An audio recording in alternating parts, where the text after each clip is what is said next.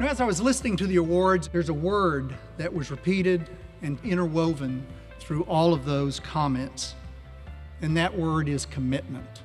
Saying you are committed is simple. It's really effortless for me to say that. Displaying commitment through service to others and in support of the mission and dedicated to changing lives, your commitment is the foundation upon which we effect change for the current generation as we look forward to the future generation of students and then many generations to come. The students in your offices and in your classrooms are truly our future. It's your commitment to UA's mission through the work that you do every day that equips students with the skills to excel and empowers them with a mindset that they too can be legendary. It is commitment. As president, I want to commend each of you for your commitment to our mission, to the future of our distinguished institution.